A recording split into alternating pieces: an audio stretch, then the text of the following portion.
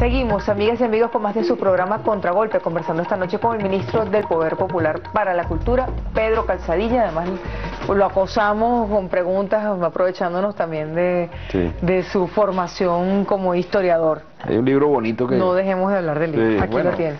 Ya que tocamos el tema de Bolívar, este es un libro que acaba de sacar, de salir de las prensas, un canto a Bolívar, una antología poética que, que produjo el la editorial El Perro y la Rana, el Ministerio de la Cultura. Aquí están recopilados textos poéticos sobre el, dedicados al Libertador o inspirados en Bolívar, en su obra, de distintas épocas, del siglo XIX, del siglo XX y del siglo XX. ¿No se había hecho una recopilación de textos? Como esta no, como esta no. Habían habido, habido algunas cosas más como más parciales, pero esto es de verdad muy muy bonito. ¿Dónde se puede conseguir? Bueno, vamos a distribuirnos en las librerías, sí, va a estar a la venta, porque no es de distribución gratuita como otros, sí, pero es un precio módico que no recuerdo ahora, pero... Cinco bolívares. Sí, va a estar por allí, como son los libros de que hacemos nosotros, que son muy muy económicos. Pero perro y la rana. Muy bello allí, ese, ese libro, te lo recomiendo. Muchas gracias, ministro. ¿Quién hizo la selección de textos? La hizo un equipo allí de, del, Ministerio de la Cultura. Es una eh, debe estar allí referido, ¿no?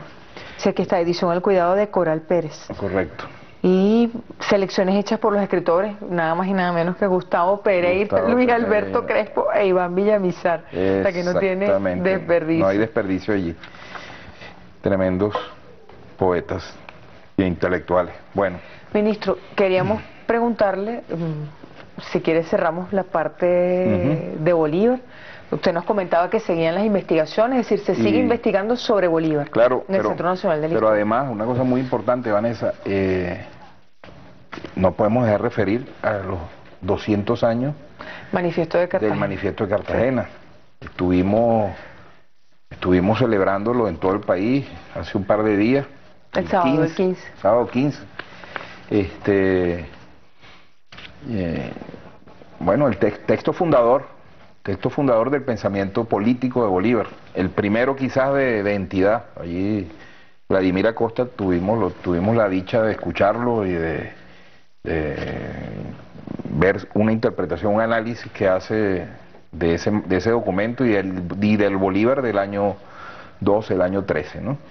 Este, un texto fundamental y además interesante que ocurra ahorita porque allí Bolívar hace algunas reflexiones que algunas de ellas tienen, ya Vladimir Acosta lo dijo bien. ¿Cuáles piensa usted? La unidad, por ejemplo. O sea que allí Bolívar analiza las causas de la, de la, del fracaso de la, de la, de la Primera República. Este, la República se perdió. Y eh, Bolívar, lejos de, de achicopalarse, lo que hace es justamente prepararse para reiniciar la ofensiva. Y bueno, analiza qué pasó. Y entre una de las de los asuntos que destaca es el fraccionamiento, la división interna. Eso es un mensaje muy importante ahorita. Yo, yo creo que es uno de los más importantes en la circunstancia de la Venezuela de hoy, un llamado a, a la unidad. A la unidad absoluta. Los revolucionarios no podemos permitir en absoluto que en este tiempo se produzcan ningún, absolutamente ningún tipo de separaciones, de divisiones, de distanciamiento. Todo lo contrario. Es la convocatoria a la unión, una sola pieza, convertidos en una sola pieza, todos los revolucionarios. No hay... ¿Es posible estar convertidos en una sola pieza con la ausencia del presidente por razones Claro que sí, con más razón, ahorita lo demostramos en las elecciones. Pero creo que eh, nuestro pueblo tiene la suficiente conciencia para saber que la mejor manera de, tributar al presidente, de rendirle reconocimiento y homenaje y de cumplir la tarea que nos dio es esa. No hay absolutamente ningún principio, ninguna justificación, ningún argumento, absolutamente ninguna justificación que permita darle legitimidad algún, alguna rendija siquiera de separación a división. Sin embargo, usted debe haber visto, bueno, hay algunos sectores, gente escribiendo cosas por aquí y por allá, poniendo en duda incluso algo que el presidente, el propio presidente Chávez pidió, que era la unidad en torno a, un liderazgo, en este caso se refería concretamente al liderazgo del vicepresidente ejecutivo y canciller Nicolás Maduro. ¿Usted qué le diría a esos sectores? No, yo no tengo la menor duda que... Como historiador y como bolivariano. No, como, como, como justamente pensando en estos, en estos, en la historia, viendo la historia. Este, Bolívar lo, lo identifica como problema entonces. Por supuesto, en otras circunstancias, ese era un, un momento distinto, pero eran también un proceso revolucionario. Y Vladimir lo dijo allí, las revoluciones necesitan una sola, un solo comando, no es posible que con la dispersión, la disgregación, hay que haber unidad de mando, unidad de, de las fuerzas. Y eso está como un mandato. Chávez lo pidió, el presidente lo pidió antes de irse. Unidad, unidad, unidad. Así que es el primer mandato. Quien no lo haga, a mi juicio, Está traicionando al presidente. traicionando al presidente y está traicionando esta causa. Ahorita no hay, no es momento para discernir ni dilucidar ningún tipo de, de, litigios pequeños, domésticos, regionales, locales, para nada. Ahorita es un, una idea suprema. Y eso es un mandato del propio presidente y yo no tengo la menor duda. Esa es una idea que está en el manifiesto, de, Cartagena y está hoy. Así que bueno, cae muy bien. Y bueno. Con el manifiesto de Cartagena se abre un nuevo ciclo bicentenario, ministro. Sí. está previsto hacer actividades como las que se hicieron en 2010. Sí. Fíjate otra cosa, que el manifiesto de Cartagena, Bolívar identifica una etapa, el fin de una etapa y el arranque de otra etapa de la revolución, que es una cosa que coincide, el presidente lo ha dicho. Entramos en una fase nueva de la revolución a partir de, del año próximo, que hemos estado como preparándola durante todo este tiempo, todo el debate del plan patrio, las consultas, las asambleas, constituyen, digamos, como, están como preparando ese nuevo eh, manifiesto de Cartagena, pero ahora construido colectivamente. Una nueva etapa que usted avisora como que... Porque el presidente Chávez ha hecho, ha hecho algunos comentarios, algunas reflexiones, pero bueno, ha coincidido también con este momento crítico en su salud y a Dios rogamos que se recupere como por lo menos la mitad del planeta también lo está haciendo en este instante, ministro. Pero ¿cómo lo avisora usted?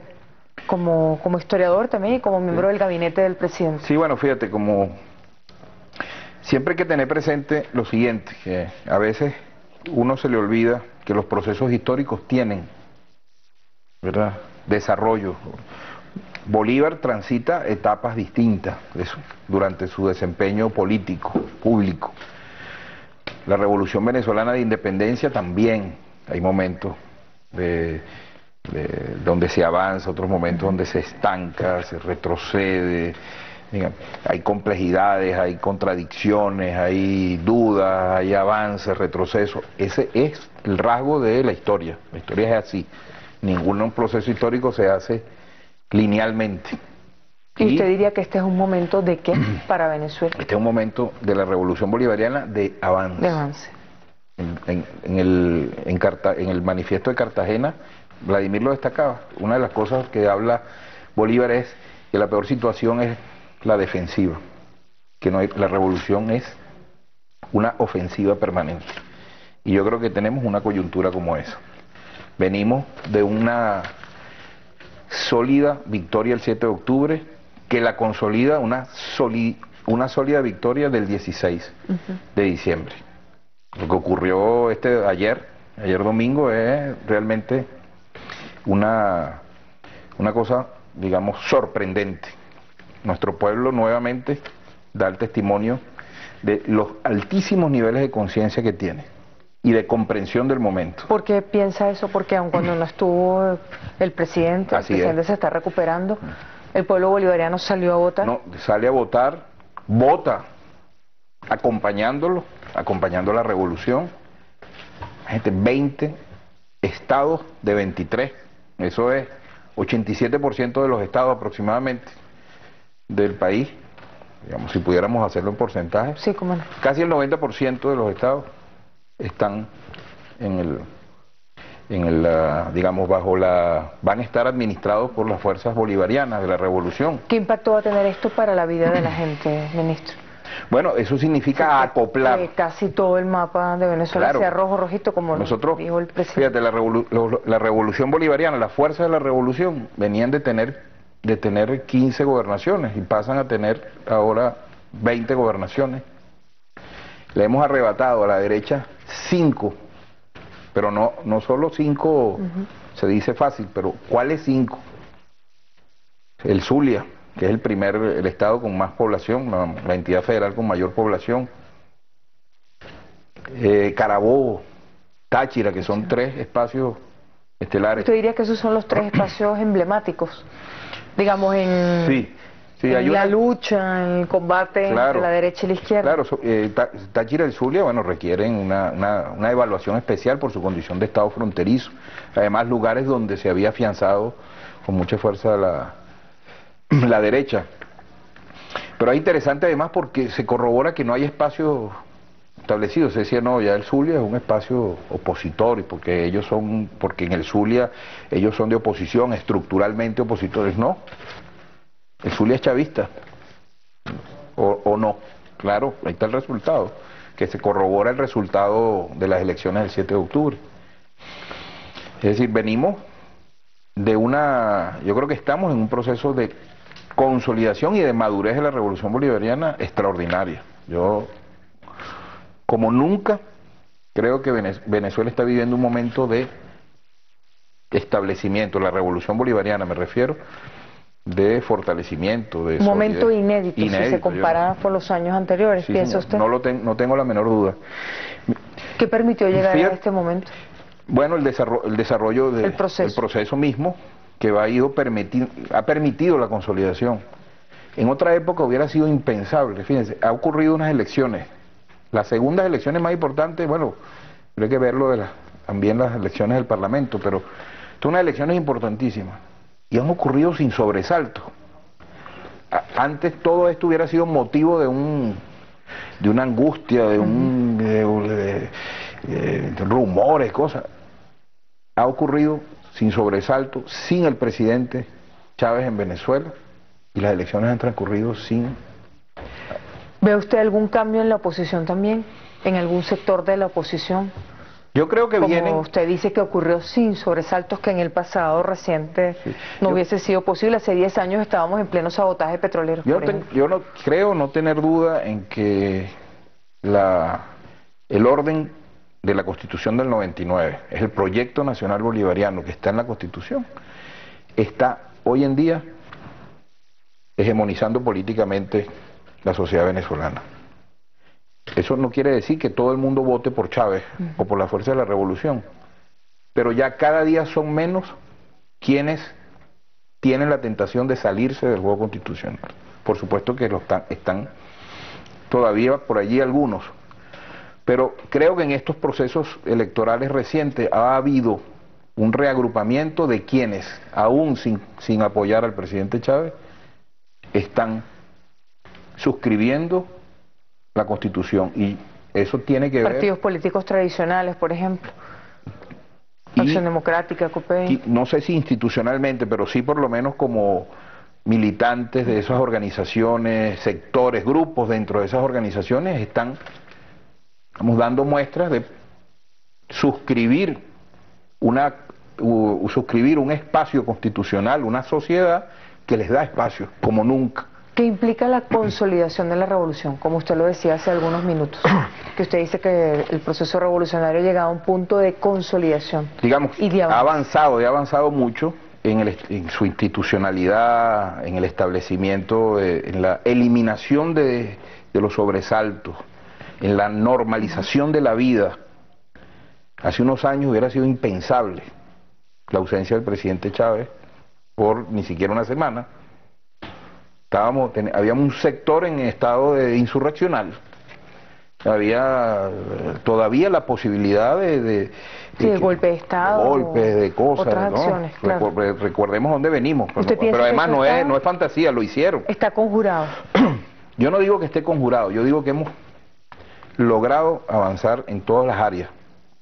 Y tengo la impresión que eso apunta hacia la idea de la irreversibilidad del proceso.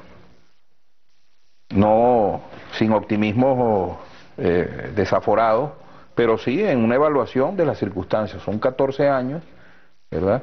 Y no y cuando echamos, volteamos la mirada hacia atrás y vamos hacia 12 años atrás, 11 años atrás, vemos el camino recorrido y uno pudiera aventurarse a adelantar la entrada efectiva, como lo ha dicho el comandante Chávez, en una nueva etapa. Está por verse, por supuesto, el desarrollo de los acontecimientos, pero creo que como nunca tenemos hoy en día el proyecto bolivariano, la constitución del año 99 tiene una enorme fortaleza, no lo tengo la menor duda.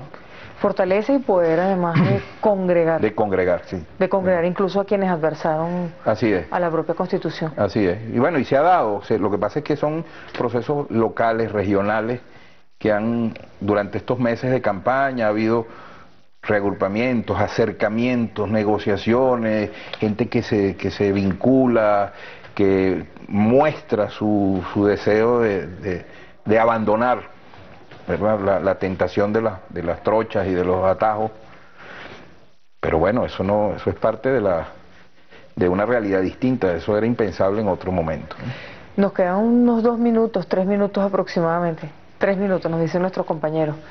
Le preguntaríamos, ministro, ¿usted piensa que las navidades van a transcurrir con normalidad? ¿Navidad, fin de año? Por supuesto, por supuesto, y además hay motivos para celebrar. Creo que todos los venezolanos debemos tener motivos para estar contentos y felices de vivir un país que va a un proceso electoral sin traumas, sin complicaciones. En medio de la Navidad se hizo, la gente fue a votar su domingo y siguió con sus actividades, haciendo ayacas, y aquí estamos. No hay absolutamente ningún motivo para, para estar, digamos, inquietos por todo lo contrario. Lo que estamos es pendientes del presidente, acompañándolo en su recuperación. Ahí estamos todos metidos con la fe y el espíritu y la espiritualidad de este pueblo que se ha puesto toda, toda, toda la su espiritualidad en, en dirección al presidente, como lo ha hecho siempre. Ahorita con más fuerza, dándole fuerza y apoyo y energía para que salga y se recupere pronto. ¿Y usted que no es creyente, a quién le pide? Yo ya, algo muy personal. No, yo confío y, le pido a este pueblo ¿verdad? que se mantenga allí, firme, creyente. Le pido que siga con ese amor hacia el comandante. Que aprovecho para decirte una cosa, que, que lo estábamos conversando hace poco. Hay una idea que se ha, estado repitiendo por allí de la religiosidad de la relación de, del pueblo con Chávez que hay una cosa, un liderazgo carismático, entonces una cosa devocional allí entre la relación. Esa es una idea absolutamente eh, denigradora de nuestro pueblo, porque confunde amor hacia el presidente con religiosidad. No porque sea malo la religiosidad, sino por lo que puede suponer de irracionalidad. Pero es cierto que el presidente es como un dios para una buena parte del país. Pero eso es con, pero tiene conciencia detrás. Es consciente porque él está allí porque hay un pueblo que se identifica con él porque habla por él. Es su representante. Es el representante de los pobres. Pero no porque porque es capaz de hacer milagros no porque no haya, sabe el pueblo que quien está allí no lo ha traicionado y no lo va a traicionar. Y por eso lo acompaña y lo sigue y seguirá con él, ¿verdad? Con amor, con afecto, con sentimiento, pero con mucha conciencia y cada día más conciencia y convicción de que estamos, ¿verdad? Construyendo una opción distinta para el país y él es la pieza, una pieza fundamental, la pieza fundamental, un liderazgo ¿verdad? Fundamental en ese proceso. Se nos terminó el tiempo, ministro. Quisiéramos preguntarle, mm, pero muy rápidamente, eh, saliéndonos del tema del presidente y de Bolívar, ¿cómo va a ser la dinámica de trabajo de las instituciones culturales en los próximos días? van a estar abiertos los museos. Sí, sí, tenemos actividad. va a poder acceder a ellos. Sí, bueno, hay algunas instituciones que, que tienen, digamos, una, unos espacios eh, a fin de año, como el Teresa Carreño, que entra en vacaciones, este, pero los museos estarán abiertos, excepto los días así... 25 y primero. Correcto. pero de resto, bueno, nada, seguimos desplegados una, cada día con más actividades culturales y una presencia creciente en nuestra y bueno, en estos días que son días de, de Navidad, de, cantos, de regocijo y Mañana de hay un gastazo filarmónico en el Teresa Carreño ah, a las 7 de la noche. Aprovechamos para hacer la invitación, 20 bolívares en la entrada y me parece que va a ser muy lindo. Ministro, gracias. Bueno, gracias a ti, Muchas gracias por acompañarnos, por sus reflexiones, de verdad, gracias. Nosotros despedimos al ministro del Poder Popular para la Cultura, Pedro Calzadillo, y ponemos punto final a nuestro contragolpe por la noche de hoy. Como todas las noches agradecemos al equipo de Venezolana de Televisión, gracias también a todas y todos ustedes, Funda Patrimonio, la Guardia Patrimonial, hablamos sobre Bolívar y a las espaldas del ministro está la Casa del Vínculo, nada más y nada menos, una bellísima imagen, este espacio recuperado por la obra del Gobierno Nacional, la Alcaldía de Caracas, Gobierno del Distrito Capital. Las dejamos, los dejamos con nuestro compañero Mario Silva y su programa La Hojilla. Muy buenas noches y hasta mañana.